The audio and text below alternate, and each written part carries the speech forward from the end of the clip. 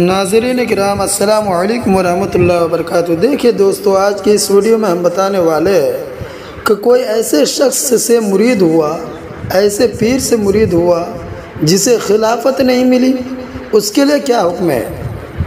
کیا فرماتے ہو علماء دین، مفتیان شرح متین اس مسئلے ذیل کے بارے میں کہ ایک شخص سے مرید ہوا اور مرید ہونے کے بعد معلوم ہوا کہ ان کو خلافت نہیں ملی تھی؟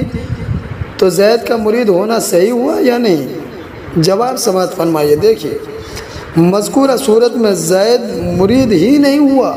اسے چاہیے کہ وہ کسی کسی دوسرے ایسے پیر سے مرید ہو، جسے اس کے شیخ سے خلافت بھی ملی ہو اور اس میں شرائط پیر بھی پائی جاتی ہو۔ فتویٰ تعداد شریعہ میں ہے، فی الواقع اگر زید کو اس کے شیخ کی اجازت نہیں ہے تو اسے بیعت کرنے کی اجازت نہیں، نہ یہ بیعت صحیح، نہ صحیح، نہ وہ لوگ سلسلہ میں داخل ہوئے۔ ان کا کہنا بالکل باطل، کسی دوسرے سے جو لائق پیری و جامع شرائط ہو بیت ہو۔ اب دیکھیے، اگر کوئی پیر یعنی پیر بن کے گھومتا ہے، ابھی اسے خلافت تک نہیں ملی ہے، تو بہت سے لوگ اس سے مرید ہو جاتے ہیں۔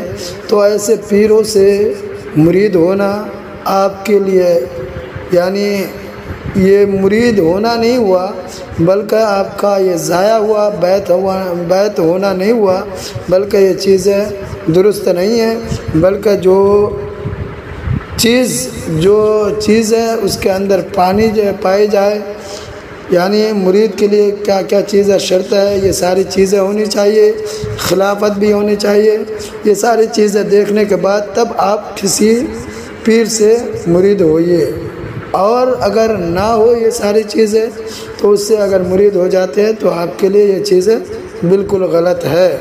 دیکھیے، کہنا یہ ہے کہ آپ سبھی حضرات ایسے پیر کو چنیے جو خلاف شرع نہ ہو، جو شرائط کے پابند ہو نماز تقوی پرہیزگار ہو، متقی ہو، ایسے پیر کو اپنائیے، نہ کہ وہ پیر جو ہاتھ پیر دبواتے ہیں، وہ نہ کہ وہ پیر جو اپنے آپ کو نماز سے دور رکھتے ہیں، نہ وہ پیر جو اپنے آپ کو مذہب اسلام سے دور رکھتے ہیں۔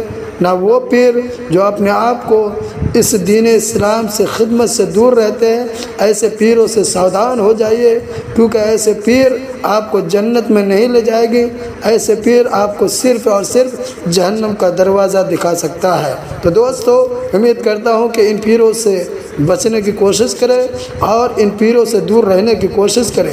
اگر ان اگر ان کے ان پیروں کے اگر کہنے پہ آ گئے، اگر ان پیروں کے بتائے ہوئے باتوں پر عمل کرنے لگے، تو آپ کے ایمان میں وہ خرابی آ جائے گی جسے سدھارنا بہت ہی مشکل ہو جائے گا۔ کیونکہ آخرت کے لیے سب سے زیادہ جو ضروری ہے جو سب سے زیادہ ہم لوگوں کو جس چیز کی ضرور ضروری ہے، وہ ہے ایمان۔ اگر ایمان سلامت ہے، تو سمجھ لینا ہماری شفا، ہماری نجات بھی ضرور ہوگی۔ اگر ایمان کے ساتھ ہمارا خاتمہ نہیں ہوا، تو سمجھ لینا ہم لوگ ڈائریکٹ جہنم میں چلے جائیں گے۔ دوستو اپنے ایمان کو سلامت رکھیے۔ ایسے پیروں سے سودان رہنے کی کوشش کرے۔ آج کے لیے اتنا کافی۔ پھر کل ملاقات کرتے ہیں۔ السلام علیکم ورحمۃ